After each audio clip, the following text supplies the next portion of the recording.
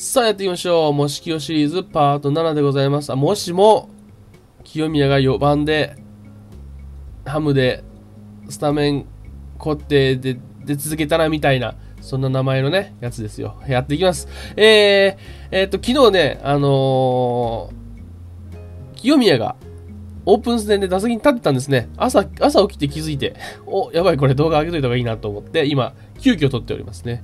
昨日、あの、夜は、あの、クロモニオンズのライブに行っててね、それ見てたせいでね、あの、夜の情報をチェックしてなかった出てきましたそれを知ってたら多分、あれだな。それを知ってたらおそらく動画を上げてたな。夜の間に。でもまあ、春、朝だけど、まあ、なんとかね。朝だけど、なんとか間に合わせて動画朝の朝一で動画を撮ってます。中田に変えて清宮を打席に立たせたんですね。ざわハムは。ざわつきと言いますか。30みんなカメラを1分ぐらいあるから1分ぐらいあの出しましたよ。清宮の打席を楽しんでいきましょう。ってい。うかさは、こういう動画ってなんで上げていいのえ ?YouTube 練に習中もお客さんからの歓声と拍手が。邪法には邪法、下法には下法みたいな感じでさ、あの人の YouTube を勝手にあの動画内で紹介しちゃってるけどさこういうテレビの動画ってさなんで OK なの？YouTube に上げてなんでこれバンされないの？けど急上昇ランキング14位とかになってるけどさなんでこれ OK なんだろうね。で清宮のちょっと打席注目してほしいんだけどこういうフォームなのね。なんだろうね。あのー、鳥谷にちょっと似てない？鳥谷ってさあの漢字のさあのこのこの字？なんだこれ？肩の字？鳥谷のバッティングフォームってなんかこれで例えられることがあるんだけどさこういう感じだよな清宮も。ね。ね。すごくそれっぽくないこっちから見ると。すごくそれっぽいよな。だからまあそれだけなんですけど だからあの高校時代のフォームとちょっと違うよな。あの動画始める時にあの見たあの清宮のフォーム。ちょっと違う。あのなんか大きくなった感じがする。まあ動画のあのね打席の動画見たからね。打席は高校生の頃の打席を見てるからちょっと体が大きくなったっていうそういうふうなまあ、ただ右手の親指えピッチャーはねあまあちょっとね清宮のこのこの間の前回の動画からこの間の動画の間のなんか何が起こったのかをひとまとめにはしてたんですけどもえーこれは中日との中日との、えーオープン戦で、えー中田の代打、えー、と9回ワンアウトから登場ってことですね。もうこれ右見りゃ、右下見りゃ分かるわ、それは。9回ワンアウトから登場。で、対戦相手中日の丸山っていうピッチャーですね。選手という感じじゃないですいや、そうですね。丸山について調べるの忘れてた。清宮の記念すべき第一打席のピッチャーが丸山っていうことを、で、丸山っていうのを調べたことったんですけど、まあ、オープン戦はいいでしょ。丸山ってあんまり聞いたことないです。中日ファンの方には申し訳ない。丸山ってあまり知らない。でも背番号28だから注目されてるピッチャーだよな。背番号28って、あの、野球ってエースナンバーが18なんですけども、18ね。そのエースナンバーにプラス10をつけたら10 28なんかも割とエースナンバーって言われることはあるあるよね。この腕の使い方を見て分かるようにこうエースナンバーってね。えで、おい、それに三振かい。もう一回も腕の回。使い方を見て分かるようにこう柔らかさがあるんですよね。片手になってんじゃん。それからこの腕の使い方を見て分かるようにこう柔らかさがあるんですね。らかさがあるんですね。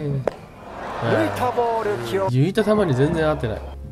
清一応ね、なんかこう、この打席ちゃんと見てるとね、あのー、結構球には手を出してない。あのストライクゾーン以外の球にはあんまり手を出さない感じかなってこれはまあほぼボールに近い球球でストライク取られてるけども選球眼は良さげだよねなんか、まあ、プロの球をプロの試合の実戦のた初打席で割とその変化球見れてるっていう感じがする、まあうん。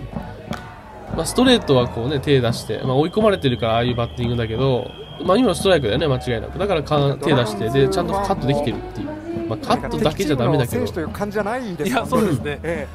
えもう一プロ野球ファンとして。この打席はあの2つ目のストライク取られたことで、はい。まあ、かなり不利にはなってるんだけど、今日はね、ホームランを狙うようなバッティングができない状況にはなってニュースが中でで流れるでしょうけども、この球、ね、この球をしっかり見逃せてるっていうこことので彼のすごいと思う。持ち味というのはやはりこのすごくパワープラス。清宮の1打席をこんなに解説こんなに解説してる動画は俺のこの模式をシリーズだけでしょ柔らかさがあるんですよね。えバカバカしいわ。でこれに手出しちゃうんだけどな。でも今のもさストライクなのね要は。方見て分かるようにこう柔らかさがあるんですよね、えー、ねストライクなんで思いっきり。だからまあストライクボールだけども狙いとは違ったからしょうがなく三振してるけどこれがおそらくボールだったら見逃してるかもしれないしそういう意味ではなんかあの出塁率の高い打者なんじゃないかなというような気がしますね。さあやっていきましょう。もしきよシリーズ、入りの、入りの時間でもう5分も使っちゃいました。これはもうね、な、間違いでボタン押してるしね。入りの時間、入りのところで時間使使いまくっちゃった。使いまくっちゃったなんとかオープン一ついけるかな？いけるね。いけるね。いけるね。だいぶルーチンが出来上がってきた。ちょちょっとこう ちょちょっとこう、動画の冒頭でもう清宮の状況を説明しつつ、説明しつつ、練習に入って、スライダー鍛えたいな。長所らしい長所がないもんな、この状況じゃない。体力ぐらい、体力上げていいのか、本当に。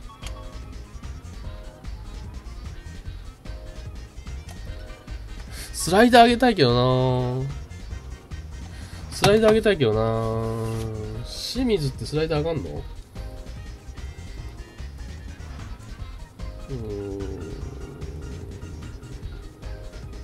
上がんないね、特に。スライダー上げるぐらいだったらシュート上げた方がいいぐらいだ。スライダーカーブかな。カーブ上げた方がいいぐらいだな。カーブな25歳。まあ、体力、いや9、9位かな。だったら、だったら9位かな。40、143キロっていう球速が少なすぎるわ。左ピッチャーとはいえ。ここ本当はフォーク上げていきたいけどね。本当はフォーク上げていきたい。まあまあ、まあまあまあまあ。全員パワーでいいんかな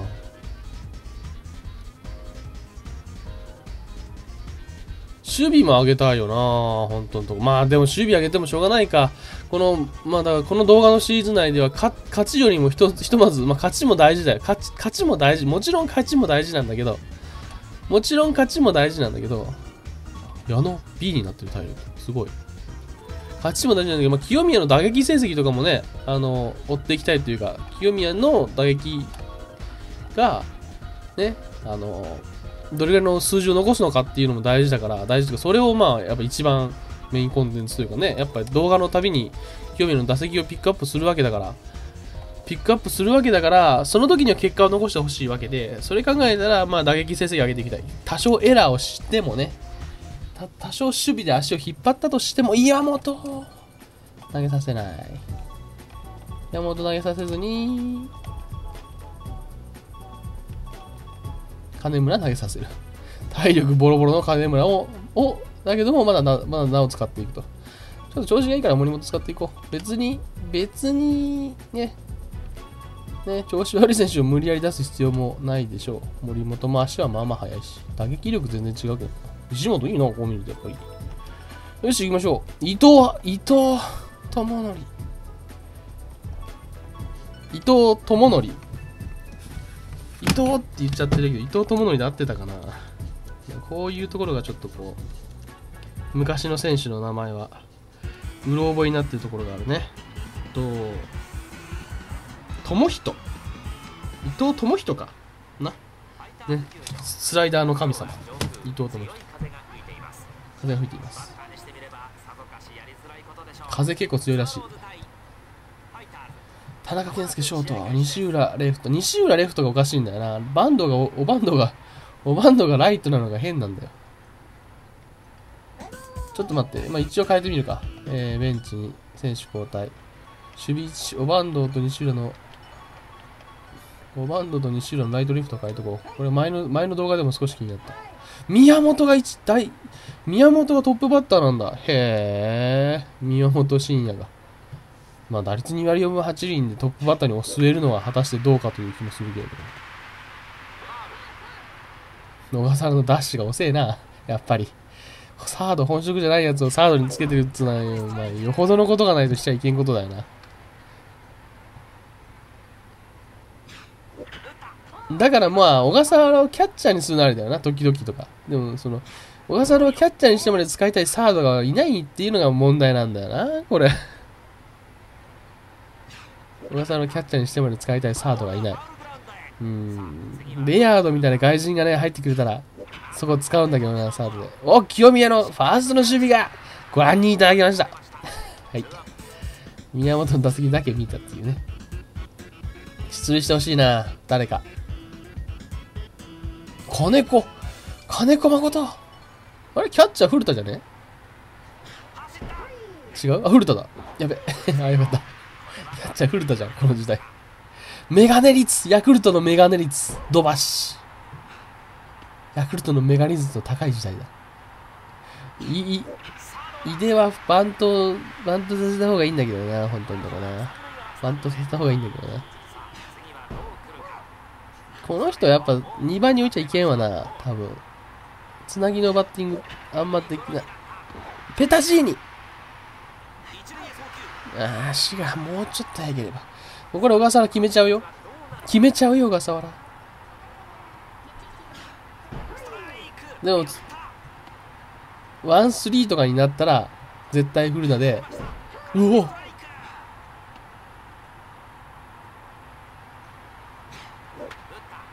まあ、ファファ、ファ、ファ、ファ、危ねえ。うーん。できれば歩いてほしい。歩かせてほしい。歩かせて清宮勝負である。粘ってる。ネバネバしてる。この試合さすがに金村は、あー、こう、あれ？あれ？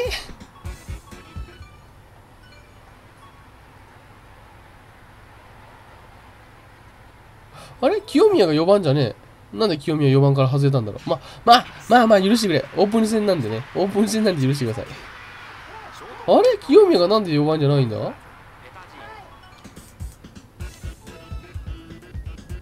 ああ、そうかそうか。一回一回打席を、あの、あれしないと、奈良原が怪我したから、前回の動画でも、あれを、ね、あの、練習の、練習の時にオーダーをしっかり組まないと、そのオーダーは反映されなくて、あ、ちょっと待ってえ、まだ西浦かあれ？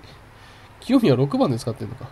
練習の時に反映したやつじゃないと、普段のやつに、普段、普段使いのスタメンにならなくて、試合の直前に変えたオーダーの変更は、あの、は常にではないんだ。そのと、その一時的な、その一試合だけなんだよね。試合前の、試合前のオーダー変更はね。いい、いいや、お、お、お、お、ツーベースいける、ツーベースいける。ダブル。スタンダップ、スタンダップダブルじゃねえさあ、清宮だ。まあ、オープン戦の初打席ではね、おなんで今西浦止まった？ここ今止まったよな、一瞬。まあ、あれだけの痛烈な打席打球だったら、ランナー三塁に帰ってくるってことはできんかったろうが。うーん、ヘイスト坂よしよしよし。めっちゃこっち見てる。いやー、活躍してますね。普通に使えてる。普通にいい打者として1年目から。オープン戦の1打席といえば、あのー、ソフトボール、ペタシーニばっかり。あー、野口野口見たいかなヤクルトの、ヤクルトの打者の面々も見たいかな見たい人たちは見たいな、きっとな。まあ、まあまあまあ。まあまあまあまあ。まあまあまあ、その辺は野球つくを買って、買わねえよ。今、今買わねえよ、野球つくを。この辺の打席も飛ばし飛ばしていいね。まだ。清宮の打席は小笠原からになると思う。金村5回までかな。うん。ちょっと体力も、体力に心もとないから、さすがに。ここだんおバンド西浦倒れたらこの打席もないぞ。西浦。出塁したか。ここで西浦にダイソー上田を出すか。上田に石本か。石本の足なら取れると思う、セカンドが。こういう特殊な状況も清宮に与えていく。あ、ちょっとダッシュ遅くない今。あ、セーフ。さあ、得点圏にランナーを置きました清宮の第2打席。第2打席。第2打席からもうあの、てかもうその、4回から4回からダイソーを出すっていうのもどうかと思うけど。うわあ、フォーク。ここ注目していこう。うんダメか。まあまあ、大事打席が良かったから、よしだけどな。生かすことができませんでした。うん、ソフトボールのね、あの、大島がね、あの、あなんだったかな、第1打席、オープン戦の第1打席で、あの、センターバックスクリーンにホームラン叩き込んでたよね。バックスクリーンだったかな。うん。確か楽、楽天あたりのピッチャーって気がする。誰だったか忘れたけど、あの、うん、忘れたけどね。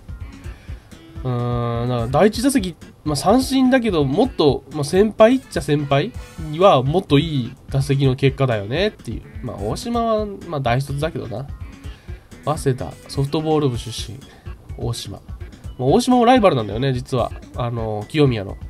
大島もキャッチャーで入ってるけど、基本的にはファーストか DH かになるだろうし、DH で大島が、DH で大島と清宮が争うことになるんじゃないかなってことを考えたら、考えたら、まあ、あのー、1年目のね、ライバルは中田というよりも大島だよね、清宮にとって。まあ、清宮にとって、大島にとって清宮がライバルだし、清宮にとって大島がライバルだし、大島にとっても清宮が多分ライバルだと思う、ファーストだとね。まあ正直大島も正念場だよ。プロ何年目かな？もう結構経ったからね、入ってから。あのソフトボール出身でプロ入りってなかなか珍しいからね。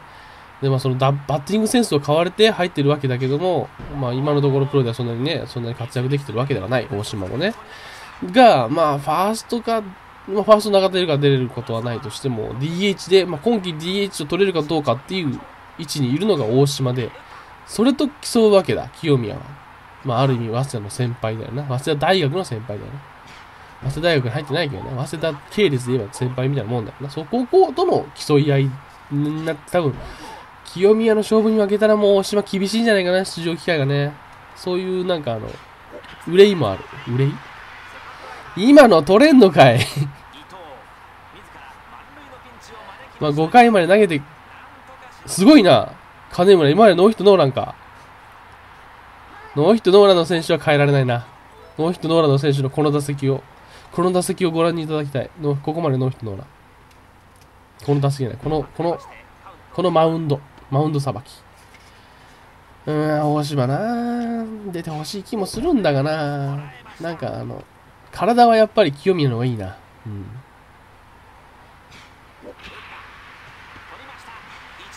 いやいい守備をしている。まあ、大島に関しては、ファースト本職じゃないっていうのもちょっと気にかかるな。まあ、ファースト、清宮は、あの、守備のね、えー、前回の動画で見せたけど、守備の動画でもあの、足開脚のファーストのキャッチとかさ、ファーストの守備は割と悪くないというか特化しているというか、センスがあるなって思う。うん、まあ、お、キャンプ始まってすぐ守備練習ばっかやってた程度にはそんなに守備もすごくうまいって選手じゃないんだとは思うけどね。うん。思うけど、まあ、それでも、大島よりは守備の選手なんじゃないかな。大島キャッチャーだからね、元がね。で、キャッチャーは、やっぱソフトボール出身ってことがあって、球がね、いまいちプロの球に順応してないっていうのがあるかなって気がするな。と、それとまあ、あと、今季から、今季日ハムはキャッチャーどうすんだろうね。近藤キャッチャーだったらすごい強力打線が組めるんだよ。日ハムって。4割、4割打者の、ね、4割打者の近藤がキャッチャーだぞ。すごいぞ、それはってなるわけバント。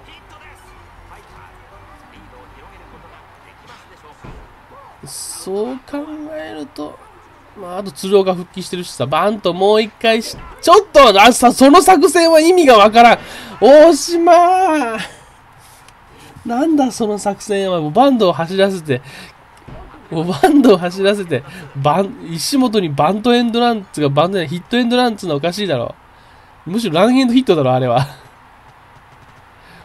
普通にやったら石本はこうやってな、セーフティーバントで出塁できるような足を持ってるんだからさ、その選手を、その選手がいるんだったら普通にバントさせたらさ、まあね、言うまい。高い確率でノーアウト一塁二塁にチャンスつく。いやー、清宮の第、第4打席か、これ。第3打席か。うん、結果はです。田中健介。えーっと、昨日のオープン戦の打席の後の会話、あの、談話、日刊スポーツ、自分のスイングをちゃんと、ああの、三振した後ね、三振した自分のスイングをちゃんとしたいなと初めての打席ですし、当てに行ってヒットより自分のスイングをしたかった。その辺は良かった。まあ、確かに、自分のバッティングをしてたような気がするはするけど、最後の打席は、あれだけどな、当てに行ってた気がするけどな、普通にね。あのカットしに行ってた。変化球に対して。それは自分のスイングできてたかなって気がするけど、まあまあまあ。まあまあまあまあ。あれでも、それでも、まあ、そういう風にコメント出せるのは偉いなと。すごいね。一応、6回まで、ノーヒットノーランピッチング。金村悟。これが金村悟のポテンシャルよ。前の動画であの、思って、思ってたんだけど、金村すごいだろっていうのを、せめてデータを見せとこれだよ、これ。これが金村だよ。143キロっていう急速ではあるんだけども、この9位も正規もガンガンあって、今、今時点でピンチ B でしょ。そして、フォークがね、この矢印のここまでかかってる。これがいい。これがいいのよね。これがいい。しかもスライダーもシュートもそこそこ伸びていくっていうね、金村は本当に、本当にこの野球つく内においてはかなりいいピッチャー。頼むぞ、ペタジーニの足ぐらい。OK。で、まあ、えー、他になんかあった記事では、朝日かなんかだったかな？えー、やっとここまで来たなと思い切りできました。もう体は大丈夫。これからはだんだん結果も大事になってくる。みたいな説、あの、コメントがある。これからはだんだん結果も大事になってくる。いや、意識高いね。うん。まあ、ここまでは、まあ、本調子ではない中で使ってもらってたのは、まあ、確かに間違いない。ここからは、あの、本当にプロの世界っていうのを意識した上でね、えー、ちゃんと結果を残して、一軍に残り続けてほしいなとは思う。まあ、日ハムの方針として人気選手だったら、まあ一軍に置いとくとは思うけどね。ある程度はね、ある程度までは、ね。いや、いいですね。羽村が。羽村がいいですね。岩村。岩村明則。でも今、今日ハムでね、有名選手ってそんなに今ね、大谷も抜けた後だしさ、まあ中田はいるけど、中田翔はいるけども、まあ、清宮ね、押していった方がいいと思うっていうのがまあ、ハムサイドだと思うから、自分はパンダとは、どこかでは思いつつも、ちゃんと結果を残していって、残ってほしいなって思うな。まあ、清宮クラスが結果云々言ったらさ、そうじゃないスタメン、んとレギュラークラスの選手だって結果、まだ結果を出すような時期じゃないから、まあ結果少々出なくても、ね、使いたい選手ということで、ノーヒットノーランピッチングとか言ってたのに、これ出しちゃったなんだ。ノーヒットノーランペペースでもなかったのか。ここまでもしかしてフォアボールの一つもない完全試合ペースだったか。すごいね。さあ、古田ですよ。有名な、あの有名な古田の現役時代の打席をお楽しみください。ゲームだけど。いやー、いやー、なんか、こんな試合になると思わなかったな。金村悟との、の、金村悟をここまで力投するとは。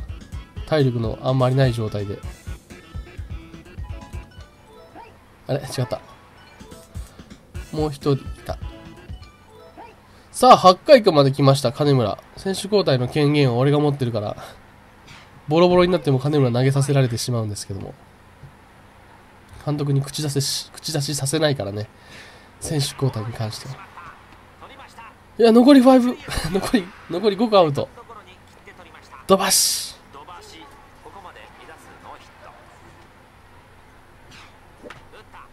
あ、そうだ。それから、えっと、今日に、2月24までの、えー、前回の動画からの清宮の動向ね。2月、前回の動画では紅白戦の補給だけやったんだけど、その後、次のそその次の日は休みで、21日はフリーバッティング。ここからね、あの、バフリーバッティングを本格的にしだしたと。稲葉だ。稲葉が代打で。稲葉欲しいよね。あんまり使えなかったとしても、たとえ。稲葉に稲葉にまあね、ハムにもゆかりのある稲葉が、ノーヒットノーラン、阻止ですわ。金村の。ここでピッチャー交代。限界です。高橋だった？左の方がいい？左の方がいいかな？左ピッチャーいないんだよな。よ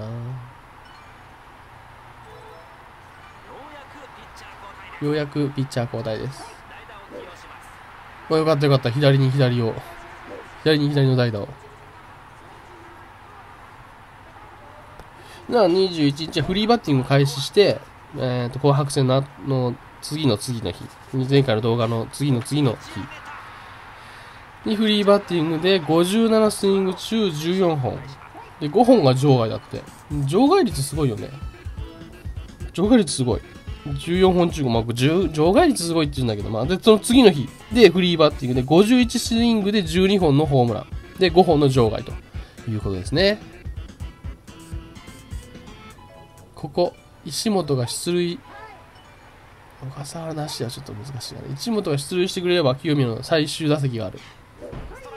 51スイングで12本、5本塁打の後、急性胃腸炎とやらで、えー、球場後にして点滴など打って、23日はなんとかね、夕方には急性胃腸炎から回復というふうなことを経ていたそうです。だからまあ、体調万全じゃないかなとは思うけどね、あの、昨日のオープン戦の三振に関しては、練習しっかり、しっかり、前日までしっかり準備した上でというよりは、ちょっとまあ体調も悪い中でという感じでの打席だったんですけども。なあ、清宮の最終打席なし。右のピッチャーだしとこう、ミラバル行きたいけど、まあ体力ないからな、今。ほう。ちょっとフォームにためのある。焼きつくない、焼きつく的にはちょっとあの、左手のグローブをちょっとね、前に突き出してためになるフォーム。ってやつですね。かな違うかも。怪しい。えー、で、急成長から回復したっていうことなんですけどもね、ちょっと体調が、プレ、プレッシャーとかあんのかもね、やっぱね、それなりに感じてんのかもしんないね。さあ、まあまあ、第1打席は終わりました。オープン戦の第1打席は終わりました。まあ、大島みたいなさ、いきなり、いきなり、なんか、締めを賑わすようなさ、ホームランかっ飛ばしてはならないけど、まあ、ならないけど、逆に大島のその後を考えたら、初めがピークじゃない方がいいかもしれんな。ロースタートでいいよ。今見たか、小笠原の守備を。これが、これが適性のないやつを三塁に使った結果よ。あの、もたくさした歩きで、たまにの飛びつこうともしないっていう。だから怖いよ、このシリーズは。本当のところ。小笠原を、小笠原を DH 使った方がいいかもしれなかったな。でもそれでもな、使いたいサードが。よっしゃー負けました。ああいうのってエラーにもならんからな。守備範囲が狭くてたまに飛びつけないのはエラーにすらならんからな。ごきげんよう。さようなら。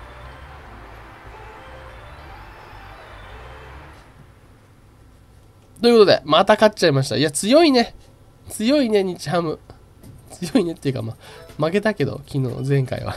前回は負けた。これでなんかおか、収支的には、お金的には、1万、1500万か。で、1万5000万、1億、1万とか2万とか言ってる。1億5000万ぐらいになったから、まあまあまあまあまあ、まあまあまあまあまあ、なんとか、決算、月末の決算乗り切るんじゃないかなって気もしてきた。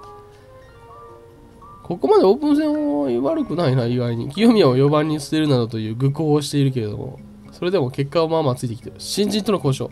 ちょっと新人見とこうか。いや、時間的に厳しいか。新人は来回、次回見ます。ということで、えー、清宮のオープン戦第1打席の記念みたいな感じの動画ですね。えー、第1打席動画記念。